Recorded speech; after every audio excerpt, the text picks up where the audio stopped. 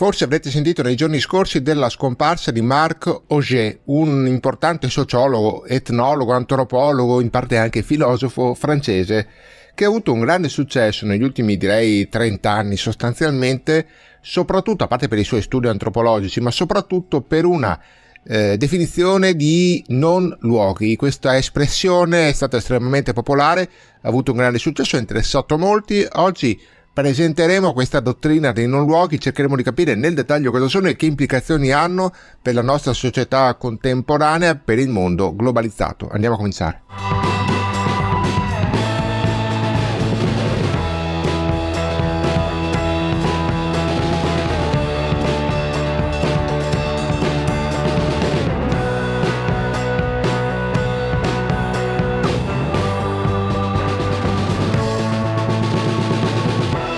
Un socio di caffè nella solita tazza con la scritta andiamo a cominciare che pronuncio sempre in apertura di ogni video. Come ci sono i soliti compagni d'avventura Topolino, Tostoi, Batman, Andrai, Mostro Peloso, Cuscino e un altro mostriciattolo qui e poi mi presento anch'io, mi chiamo Armano Ferretti, sono un insegnante di storia e filosofia su internet però uso spesso il nickname di Script e dal 2020 su questo canale, in particolare su YouTube, realizzo video spiegazioni di storia, di filosofia e di educazione civica che all'inizio soprattutto ripercorrevano il programma che si faceva alle superiori, poi si sono allargate al programma di molti esami universitari e poi in generale ad approfondimenti, ehm, eh, riscritture, analisi nuove e a volte anche letture integrali di opere di storia, di filosofia, a volte anche di argomenti affini.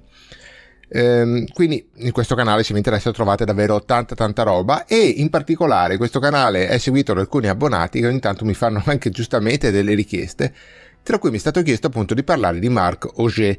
Mi è stato chiesto di parlarne soprattutto perché questo importante studioso francese è venuto a mancare pochi giorni fa rispetto al momento in cui sto eh, registrando questo video, nel luglio del 2023. È stata ripresa questa notizia della sua morte su vari giornali ed è stata anche un po' ripresa brevemente la sua dottrina più famosa, quella appunto dei non luoghi, solo che i giornali eh, chiaramente vanno abbastanza per approssimazioni. Allora, oggi cerchiamo di capire che è stato questo Auger, ma soprattutto cos'è questa dottrina dei non luoghi, che è sicuramente il suo contributo più importante alla antropologia eh, e alla sociologia diciamo dei giorni nostri. Prima però di vedere questa dottrina diciamo anche due cose brevemente sulla vita. Marc Auger, eh, appunto sociologo francese, in parte anche filosofo, quindi ci sta dentro il nostro corso di mh, mm, filosofia, nato nel 1935 scomparso appunto da poco nel 2023, quindi comunque 88 anni se non ho fatto male i conti, eh, forse ancora da compiere 87 anni, comunque una veneranda età francese nativo di Poitiers, morto proprio anche a Poitiers, quindi nella sua città natale. Ma eh, diciamo la sua carriera si è svolta per lo più a Parigi, dove ha studiato e poi ha anche insegnato nella scuola di alti studi in scienze sociali, che è una delle più prestigiose università, cioè università centri di specializzazione francesi ed europei e lì ha svolto la sua attività. In realtà per molto tempo il suo interesse da etnologo e antropologo è stato principalmente focalizzato verso l'Africa, hm? le società africane, le, eh, i riti, le comunità africane. Poi però appunto a inizio anni 90, quando era già un, uno studioso di una certa età perché aveva quasi 60 anni, ha pubblicato un libro intitolato appunto I non luoghi, introduzione a una antropologia della surmodernità, così si sottotitolava il libro.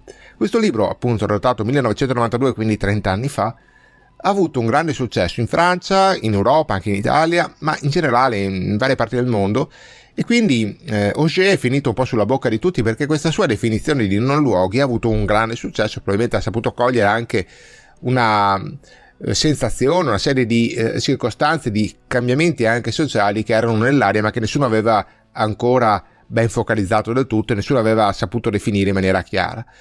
Eh, questo gli ha permesso di avere un grande successo, poi ha scritto tanti altri libri, sempre approfondendo questo tema, però direi che Non Luoghi, l'opera del 92 è sicuramente l'opera fondamentale dove c'è sostanzialmente già tutto ciò che è importante sapere su questa dottrina. Come dicevo poi conferenze, è venuto anche in Italia varie volte, anche negli ultimi anni, tutto sommato, qualche anno fa è stato perfino ospite da Fabio Fazio per dire che era eh, un sociologo che sapeva anche parlare al grande pubblico e però appunto è venuto a mancare da poco. Eh, detto questo, dette queste due note introduttive sulla vita, presentiamo cosa sono questi non luoghi e che implicazioni hanno per la nostra società. Intanto, cos'è un non luogo? In genere viene scritto tutto attaccato, a volte qualcuno scrive anche con la lineetta tra non e luogo, ma il più delle volte lo trovate scritto tutto attaccato. È il contrario di un luogo, verrebbe da dire. O meglio, è un luogo che non è un luogo. Per capire cos'è un luogo, quindi bisogna prima capire cos'è un luogo.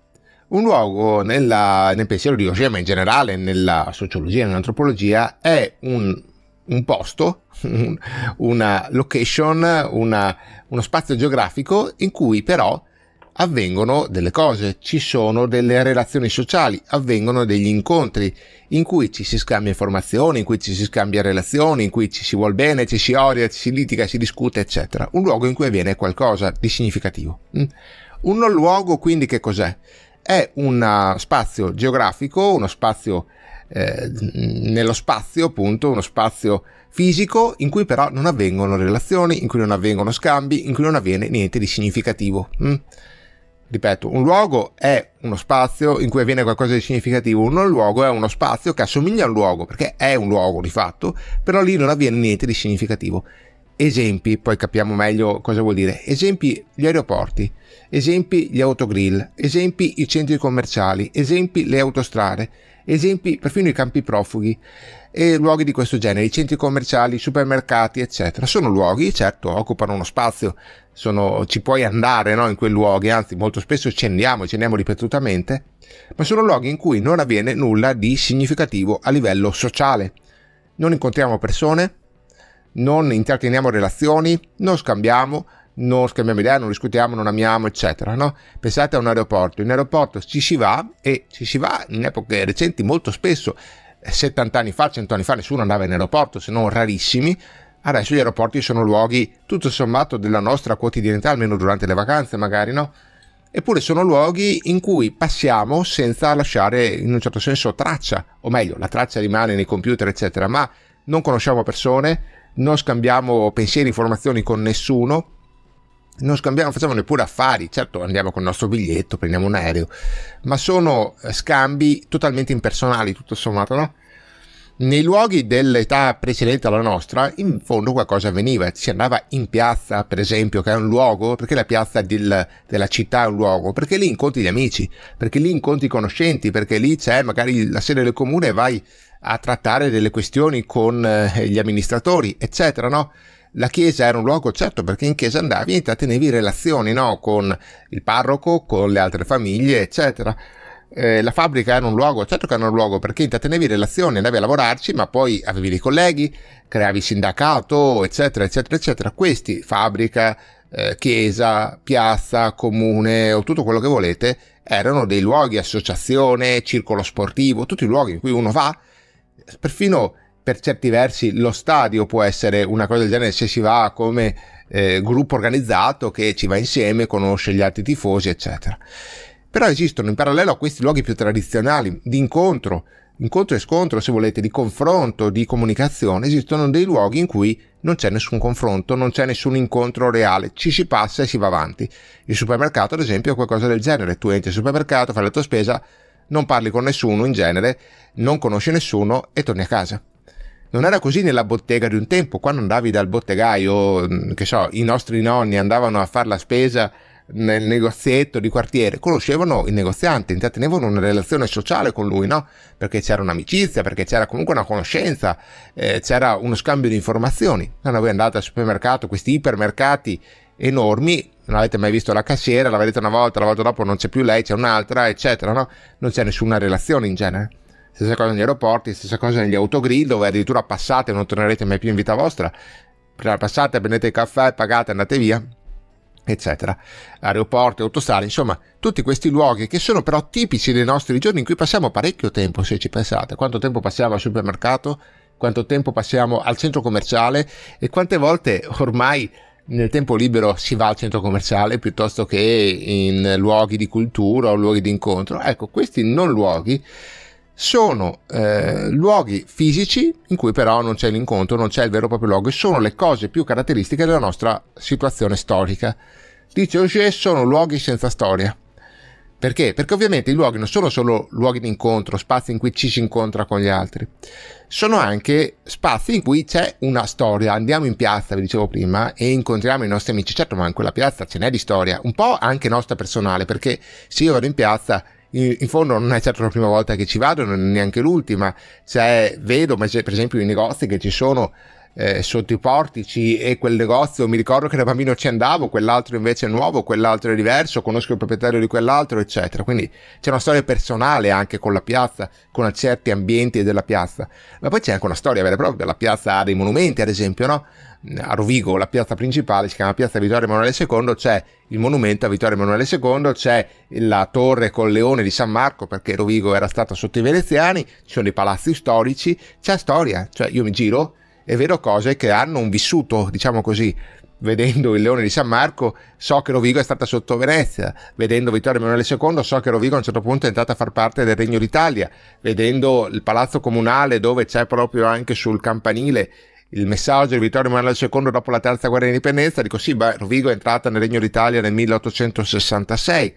Cioè, respiri la storia, no? Ci sono le targhe, ci sono le cose, i monumenti, i palazzi storici questo vale per la piazza ma vale anche per la chiesa, vai in chiesa e trovi altari storici con, che so, il dipinto donato nel 1700, quest'altro nel 1600, l'altare a questo, l'altare a quell'altro, la tomba di un certo vescovo che è stato vescovo lì e così via.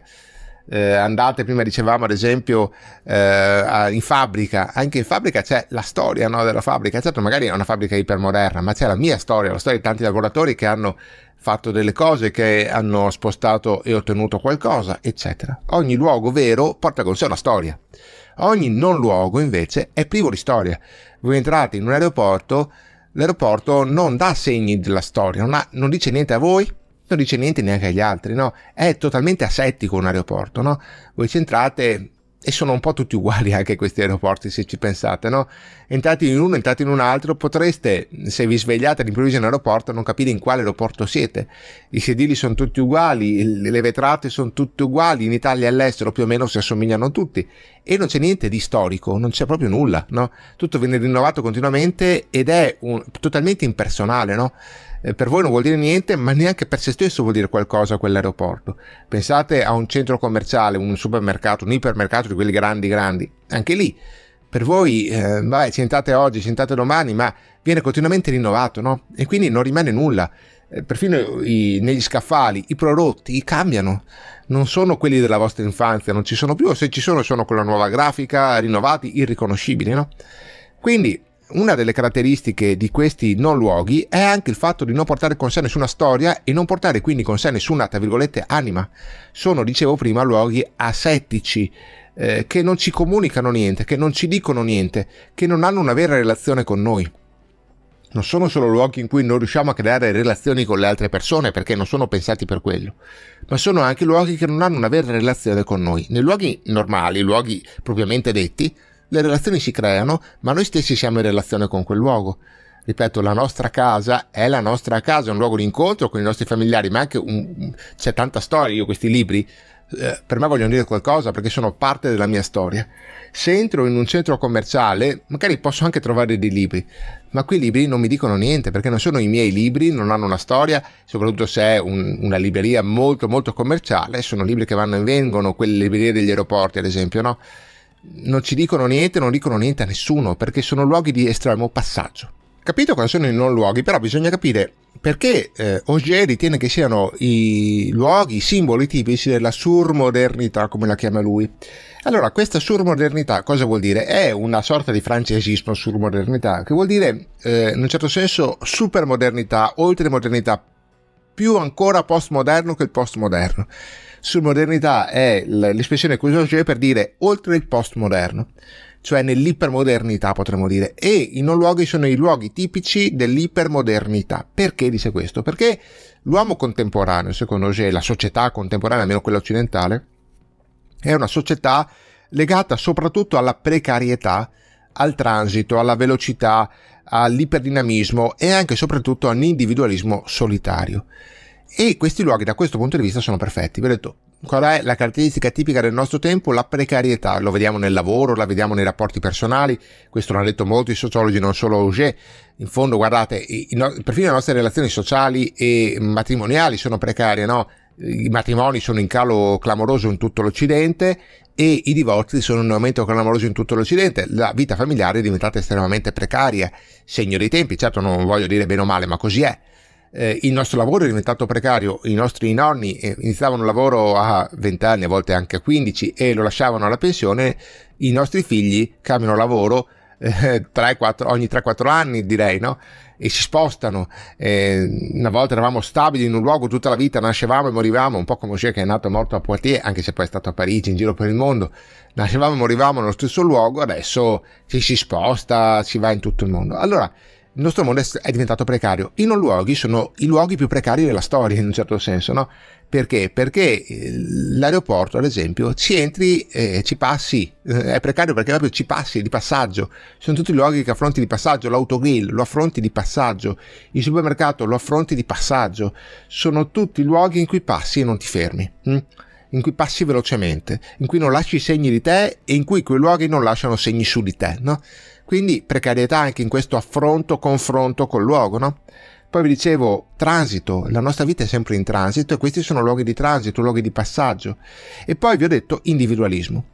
Vi ho detto che questi luoghi hanno la caratteristica di non creare relazioni sociali, essere luoghi in cui non si creano relazioni sociali. Luoghi tradizionali, ripeto, le chiese, i comuni, le piazze, eccetera, erano luoghi di incontro, in cui ti scambiavi idee, o conoscevi, o ti confrontavi, o in qualche modo interagivi con le altre persone.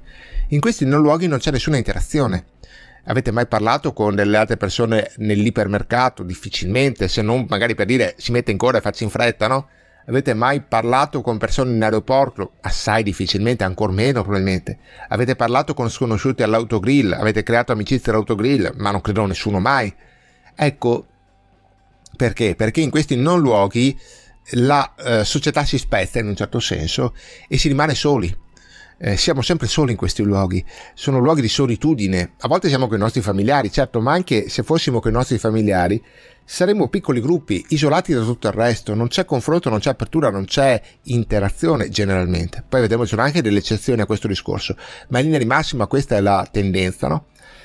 E quindi eh, il nostro tempo, che secondo me è un tempo di individualismo, beh, si sposa con questa realtà di questi non luoghi, che sono luoghi vissuti individualmente, mai socialmente. Per questo dice sono i luoghi tipici della surmodernità, di questa modernità portata alle estreme conseguenze, anzi sono i luoghi dell'eccesso di modernità.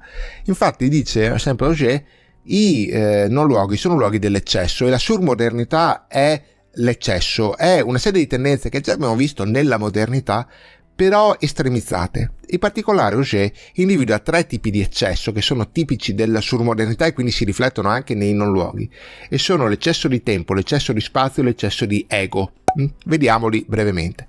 Eccesso di tempo in che senso? Allora, se noi ci guardiamo attorno, ci accorgiamo di essere eh, mm, anche a livello informativo subissati da informazioni. Eh, tutto quello che accade nel mondo ci colpisce in modi estremamente veloci. Questo Uscire lo diceva negli anni 90, figuratevi oggi.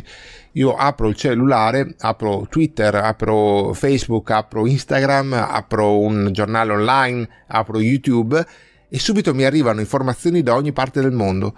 Quando qui è giorno, dall'altra parte del mondo è notte, ma mi arrivano informazioni e viceversa, no? In ogni momento tutto il tempo del mondo è a mia disposizione e mi subissano. Se prima l'uomo del Novecento, l'uomo di 50 anni fa, viveva un tempo molto dilazionato, no?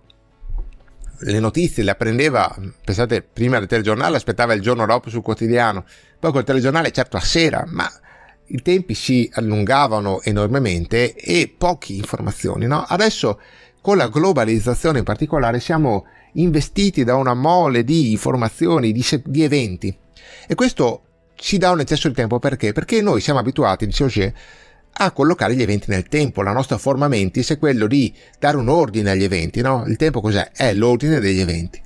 Se tutti questi eventi da parti diversissime del mondo, a volte eventi brevi, a volte più lunghi, a volte più duraturi, a volte più istantanei, ci inondano continuamente. Facciamo una gran fatica, dice lui, a dare senso al tempo, a dare ordine al tempo, a dare ordine alle cose, agli eventi, alle situazioni, a quello che sta accadendo.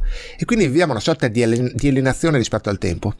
Non riusciamo a, eh, a organizzarci in questo tempo, a capire dove siamo, quando stiamo, che, mm, che sequenza di tempo stiamo vivendo, la nostra vita, quanto dura, dove dura, eccetera.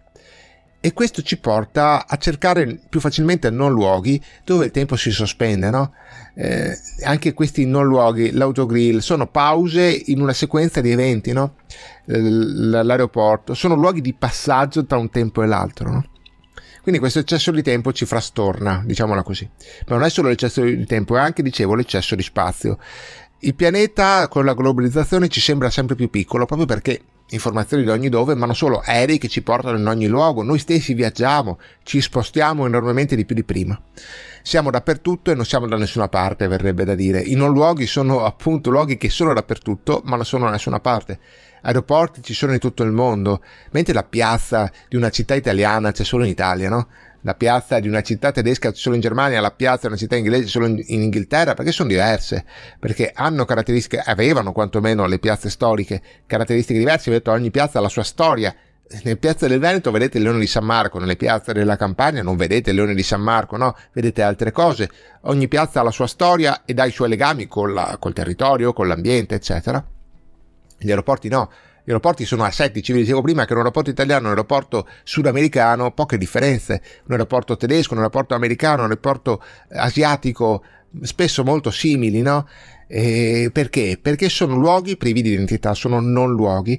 E allora anche noi in un mondo sempre più piccolo, in cui piccolo nel senso di, eh, dal punto di vista esperienziale, sempre più piccolo, sempre più visitabile, eh, sempre più conosciuto in cui non riusciamo bene a raccapezzarci dove ci troviamo, questi non luoghi ne sono il simbolo perfetto, perché tu ti puoi svegliare, ripeto, in un aeroporto e non sapere in che aeroporto sei, perché non si capisce, finché non trovi una scritta che ti dica sei all'aeroporto tal di tali, potresti non capire dove ti trovi, no? E quindi ti trovi spaesato, eh, una sorta di, oltre all'alienazione temporale di cui parlavamo prima, anche una sorta di alienazione spaziale, non sai bene dove sei, e non sai bene che legami hai col luogo dove sei. I non luoghi da questo punto di vista sono i perfetti rappresentanti di questa alienazione. Infine, oltre a un eccesso di, spazio, di tempo, oltre a un eccesso, un eccesso, di spazio, c'è anche un eccesso di ego, dicevamo prima, cioè di, di individualismo, di eh, solitudine anche se vogliamo.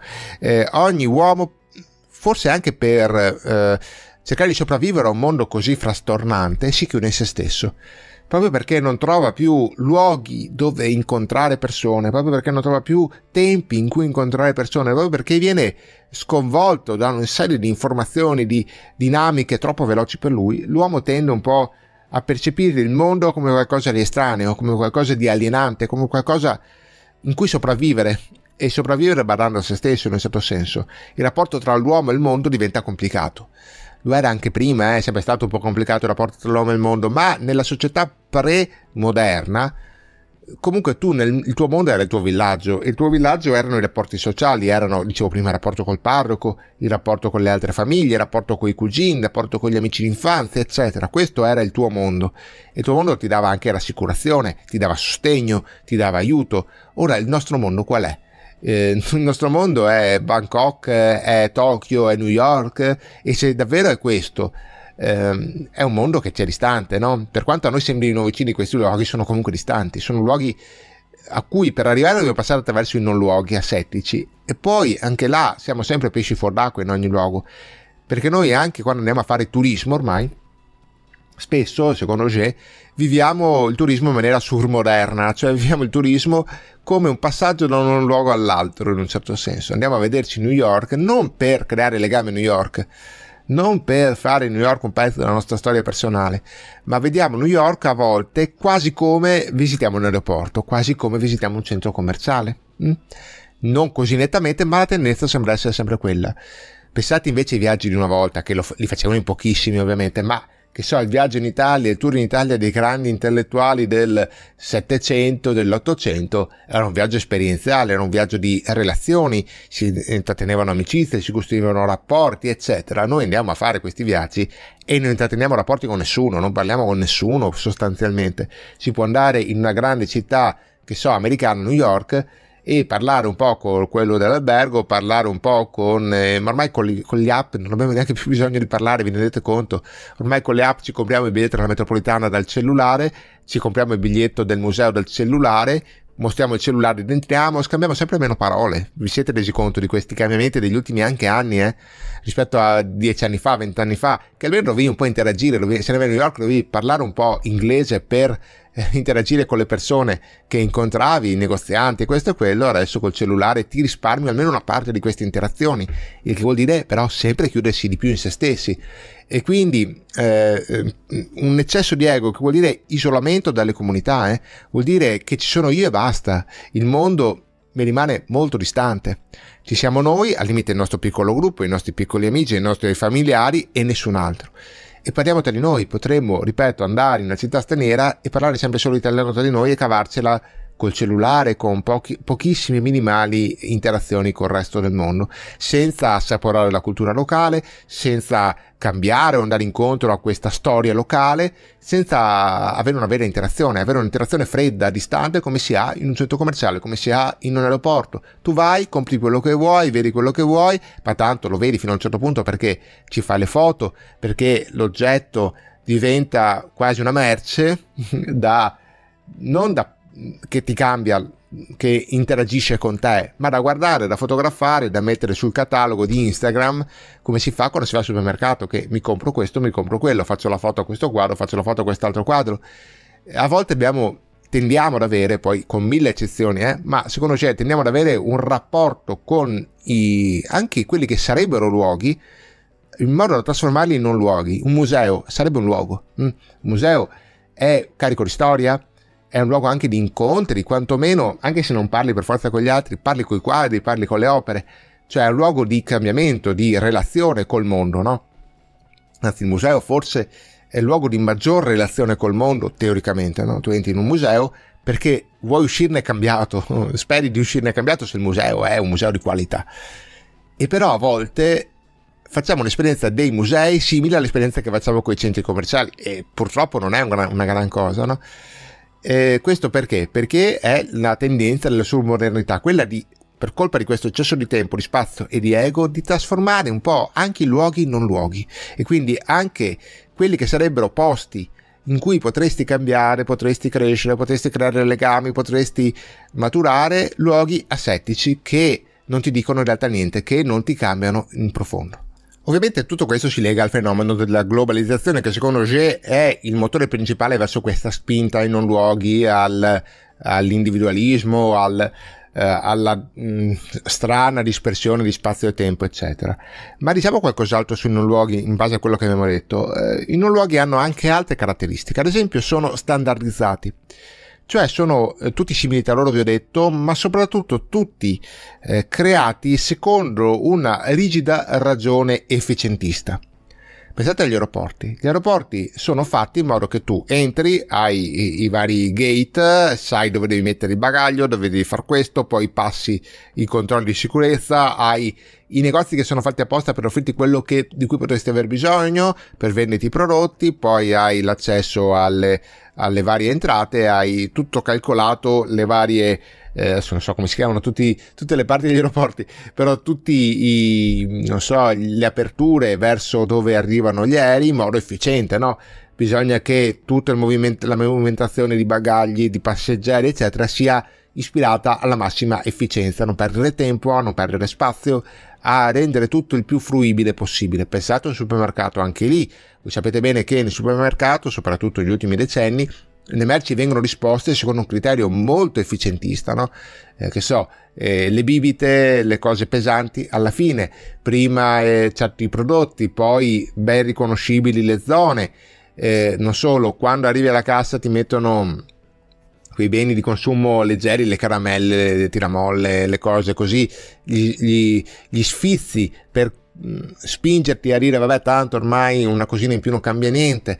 Cioè tutto è finalizzato ad aumentare un po' l'efficienza della tua spesa perché devi sapere dove stanno le cose far presto anche a creare il carrello eh, disponendo le cose in maniera abbastanza chiara a poi metterle sul nastro alla cassa in maniera più veloce possibile perché le casse devono lavorare a sprombattuto eccetera. Ma poi anche a spingerti a comprare di più e a spendere più soldi di quanti dovresti in un certo senso. Quindi c'è tutta una logica del, eh, del mercato del marketing che nel supermercato è particolarmente forte ma sempre in un'ottica di efficienza riduzione dei tempi riduzione dei costi massimizzazione del profitto Stessa cosa in fondo anche negli autogrill e in tutte le zone di questo tipo. Ora, un luoghi hanno questa caratteristica, mentre ovviamente i luoghi tradizionali non avevano questa spinta all'efficienza clamorosa. Cioè una chiesa non è che sia pensata eh, con un'ottica di efficienza, no? Tu entri, fai in fretta, preghi ed esci. No, non è fatta per fare le cose in fretta una chiesa, è fatta per fare le cose lentamente, anzi, è anche dispersiva una chiesa, no? Eh, ti distrae, pensate alle chiese barocche, ti distrae con cose che non servirebbero di per sé al fedele, c'è tanto in più rispetto a quello che sarebbe l'efficienza, ma questo è ciò che la rende un luogo, no? Eh, stessa cosa una piazza, no? Una piazza è tutt'altro che efficiente di solito, è dispersiva anche la piazza, eh, però è fatta per essere dispersiva perché un luogo è dispersivo, è solo in un luogo a non essere dispersivo, capite? Questa è una differenza fondamentale. D'altra parte bisogna dire che nei non luoghi tutto è effettivamente calcolato, c'è una razionalità non solo eh, diciamo di mercato ma anche eh, matematica potremmo dire, no? Gli spazi sono eh, calcolati, le dimensioni sono calcolate, l'altezza degli scaffali è calcolato, la capienza dei carrelli è calcolata, tutto è calcolato, sempre in un'ottica di standardizzazione, cioè modelli che si ripetono quando funzionano, tutti devono fare così, e in un'ottica di efficienza. Ovviamente questo presuppone che non solo l'ambiente, il non luogo sia standard, ma anche tu che ci entri vieni in un certo senso standardizzato dall'ambiente. Eh, per questo sono luoghi impersonali perché non ti dicono niente, ma ti trattano, trattano anche te come se fossi una persona che non ha caratteristiche proprie. Sei un uomo standard, una donna standard quando entri al supermercato. Il supermercato, tu puoi avere la passione dei biscotti, ma i biscotti stanno sempre là, non è che a te ti dà le cose prima o dopo, no? Eh, tu puoi avere la passione di un certo bene, di un certo prodotto alimentare, ma sta sempre in quello scaffale alla quarta fila, magari un po' nascosto, perché eh, non conta quello che piace a te, conta quello che piace alla media, no? E quindi la media sa che spende più soldi qua, più, più soldi là, allora mediamente si crea un, uno standard che va bene all'uomo comune, all'uomo medio, e però a te magari crea qualche eh, disagio perché per prenderti il prodotto che ti piace, che è là sopra, devi arrampicarti e prendertelo. E però questo vuol dire che il non luogo ti spinge a uniformarti, no? a standardizzarti, cioè ti dice, ma devi proprio prenderti quella cosa che ti piace là in alto, ma perché non prendi questa che piace a quasi tutti e ce l'hai portata di mano? E magari su qualcuno riesce ad avere questa presa, no? Tu dici, vabbè, prendo questo. Capite? Il non luogo te- è lui standardizzato, ma tende anche a standardizzare chi lo utilizza. Se voi andate in un aeroporto, voi potete anche ben dire, ma piacerebbe un aeroporto diverso, ma l'aeroporto è fatto così e sei tu che ti devi adattare all'aeroporto, non l'aeroporto adattarsi a te. Capite? Stessa cosa agli autogrill, stessa cosa alle autostrade, stessa cosa tutti gli altri non luoghi che abbiamo citato. Ok? Eh, quindi tu quando entri in un non luogo non sei più una persona, ma diventi un cliente, diventi un, uh, un fruitore, diventi un, uh, non lo so, un, una persona che ha una identità che non è l'identità sua vera e propria, ma l'identità della categoria, no? Se tu entri nel supermercato diventi un acquirente, fine e lo standard è quello dell'acquirente. Tu ti devi uniformare in qualche modo lo standard dell'acquirente medio. Se tu entri in un cinema di quelli degli, dei centri commerciali, diventi un fruitore di contenuti eh, magari anche stupidi. E quindi tu puoi anche dire vorrei un film eh, d'arte. No, i film d'arte qua non li facciamo, vatti a cercare un cinema che sia un luogo vero d'altrove. Qui al centro commerciale, che è un luogo, ti diamo solo i film di intrattenimento e quindi quelli che eh, fanno il, gli incassi maggiori al botteghino. Vuoi il film strano? Vattelo a cercare in un cineforum, tu che sei uno strano intellettuale che cerca ancora dei luoghi. Qui facciamo solo i blockbuster americani perché questo è quello che vuole l'utente medio e tu devi uniformarti all'utenza media, capite? Tu puoi anche dire, ma io vorrei una cosa. No, è questo che è la, il potere pervasivo e anche alienante, se volete, di non luoghi, secondo me, che ti costringe a eh, adattarti eh, a, al non luogo, a questa standardizzazione fondamentale. Ovviamente questo abbiamo detto vale per eh, i non luoghi, ma tende a valere anche per i luoghi, perché i luoghi, quando soprattutto li visitiamo come turisti, tendono a standardizzarsi in questo senso. Ad esempio, andiamo a New York ormai, o andiamo a Londra, o andiamo a Berlino, o andiamo a Parigi, dove volete, e prima cosa facciamo quando proviamo a preparare il nostro viaggio? O guardiamo online le mete da visitare, o perché non possiamo non visitare quella meta perché i nostri amici su Instagram hanno messo la foto, dobbiamo andarci anche noi. E quindi tutti fanno gli stessi giri. Se notate, aprite Instagram, no? Eh, guardatevi eh, le, le, foto di, che so, Parigi o le foto di Berlino o le foto di Milano, sono sempre quelle, le foto di Napoli. Io avrò, visto decine di ragazzi che vanno a Napoli, tutti con le stesse identiche foto, vanno tutti negli stessi identici posti. O lo faccio anch'io, eh, non sto criticando gli altri, siamo tutti dentro a questa tra virgolette piccola gabbia, per cui ci sentiamo obbligati a fare gli stessi giri degli altri, nel senso che stiamo eh, trasformando anche i luoghi veri, perfino le strade di Napoli, che sono i luoghi per eccellenza, in non luoghi, in posti in cui andare a fare la foto perché bisogna farla, perché siamo obbligati, perché questo è quello che si fa, perché questo è quello che eh, ci, ci, viene richiesto e quindi siamo dei fruitori e non delle persone che vanno a Napoli per cambiare loro o per incontrare la realtà. Mm? Eh, poi ci sono mille vie di mezzo ovviamente tra un estremo e l'altro, però capite che la tendenza è quella non solo dei non luoghi di essere così alienanti, ma a volte anche dei luoghi di tendere, di iniziare un pochino ad assomigliare ai non luoghi. Ultime due cose da dire. Allora, la teoria di Auger dei non luoghi è stata mm, spesso ben accolta, cioè molti hanno detto eh, effettivamente Auger ha accolto qualcosa di vero, eccetera. Qualcuno però lo ha anche criticato e la critica più interessante secondo me, che poi Auger ha in parte anche accolto, negli anni successivi è questa.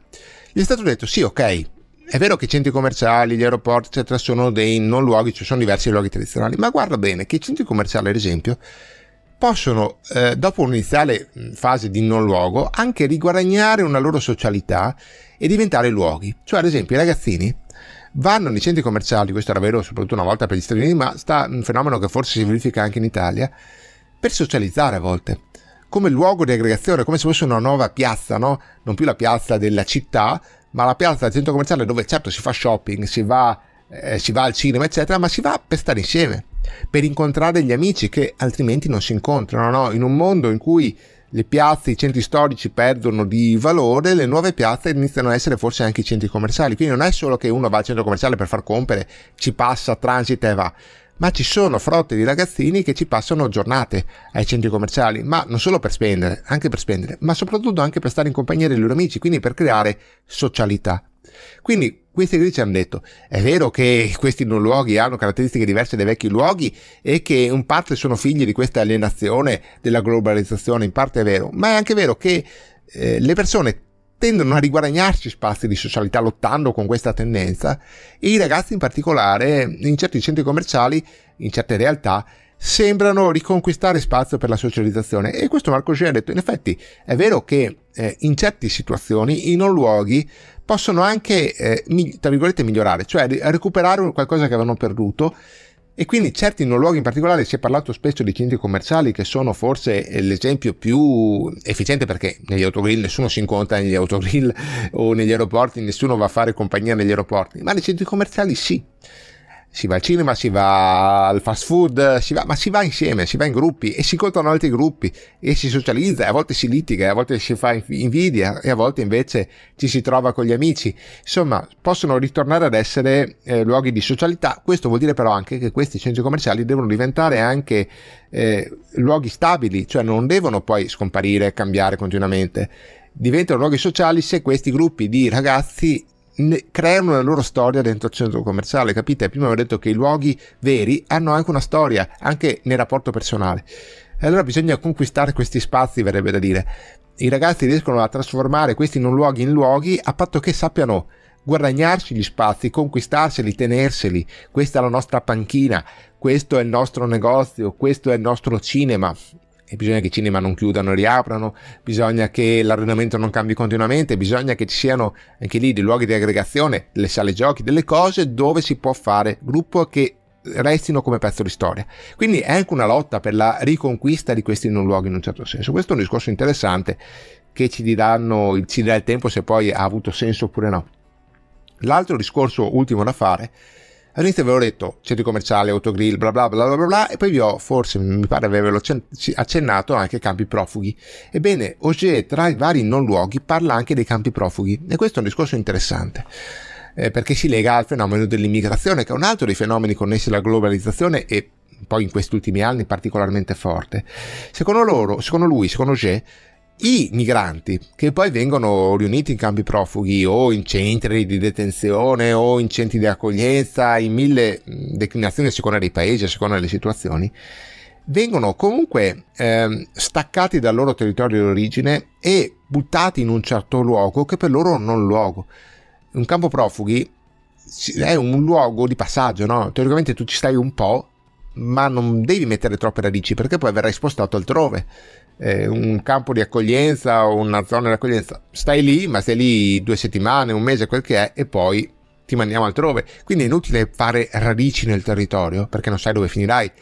E questa precarietà, questo passaggio rende questi campi dei non luoghi. Il problema qual è? Che a volte succede che questi profughi non riescono a lasciare questi campi, non riescono a eh, uscire da questi non luoghi perché per questioni politiche, per questioni di discussione sull'accoglienza, eccetera, e quindi si trovano a vivere mesi, anni, eh, parecchie volte anche, in luoghi che non sono luoghi, in cui non si, non si, sentono veramente a casa, in cui non riescono a mettere radici, in cui non riescono a creare una loro storia. Pensate ai profughi palestinesi, ad esempio, o pensate ad altri campi profughi di minoranze spostate, eccetera, in attesa di una casa, di un territorio, di qualcosa dove eh, creare un luogo vero, cioè con la loro storia, con le loro radici, con eh, anche i loro investimenti, le loro fatiche, eccetera, lì sempre in sospeso, in questo limbo. Ecco, non luoghi sono luoghi di limbo, no? di passaggio, di precarietà. Però a volte non sono solo i luoghi dove andiamo a spendere i soldi, dove andiamo a divertirci, perché spesso sono luoghi di divertimento, non luoghi, no? Il cinema, il centro commerciale, di svago. No, a volte sono anche luoghi di una precarietà più tragica, che è quella appunto, una delle precarietà più tipiche della nostra situazione surmoderna, come dice Auger, che è eh, la, la, migrazione, la realtà della migrazione. Segno che non luoghi non solo sono alienanti, alienanti per le società consumistiche, per noi che siamo ricchi e abbiamo soldi da spendere, ma sono alienanti anche per le società più povere o per chi va in cerca di una miglior fortuna, ma anche, anche nelle società più povere si può fare l'esperienza tramite la migrazione dei non luoghi. Ecco, questo era quello che volevo dirvi per darvi una panoramica spero completa e mm, sufficientemente efficace della dottrina dei non luoghi di, Mor- di Marc Auger. Spero di averla spiegata bene, spero di avervi soprattutto dato tutti i punti di vista, le, eh, le declinazioni di una teoria anche complessa. I giornali l'hanno anche riportata a volte in maniera semplice, dicendo i non luoghi sono i supermercati. Sì, ma bisogna capire cosa questo implica e cosa vuol dire per noi. Ecco, spero di aver dato una panoramica più possibile eh, chiara e abbiamo finito. In descrizione come sempre comunque trovate i titoli in cui ho diviso questo video per ascoltarvi un pezzo per un altro e trovate anche i link a tutte le playlist per orientarvi per nel canale se volete espandere il discorso. Sempre in descrizione infine trovate i modi per rimanere in contatto tramite i social network e la newsletter gratuita settimanale dove parliamo spesso di libri, di attualità, di film, di varie cose vi la consiglio caldamente e poi sempre in descrizione trovate anche i modi per sostenere questo progetto. Vi ricordo che questi video sono possibili anche grazie all'aiuto di chi eh, ci sostiene in mille modi diversi, lì trovate tutte le informazioni, eh, libri, merchandising, soprattutto anche l'abbonamento al canale YouTube. Vi ricordo che è una cosa che eh, ci dà una mano, voi per pochi euro al mese ci date questo sostegno, in cambio poi in quel caso ricevete anche dei vantaggi esclusivi come dispense di filosofia, come eh, dirette riservate, come una chat Telegram riservata, come possibilità di chiedere video come è stato anche fatto per qui per Auger e altre cose ancora. Basta, ho detto tutto, ci vediamo presto per altri video di storia, di filosofia, di educazione civica, di attualità, insomma di tutto quello che c'è da sapere in queste discipline. Ciao, alla prossima!